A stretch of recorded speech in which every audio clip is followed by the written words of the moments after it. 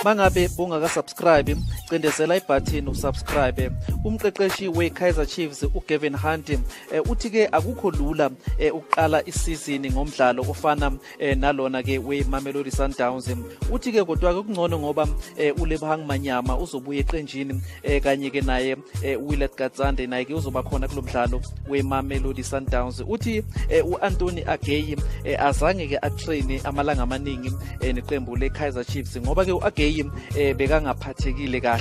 Kanti-ke omunye umdlali uthi eh, yena-ke ugavin hunt akakabi fit ukuthi-ke angabuya eh, uyana-ke u-eric mathoho osabanjwe yiko ukulimala. Yingakho-ke naye angekho kuleli qembu elidlala ne-mamelodi sundowns.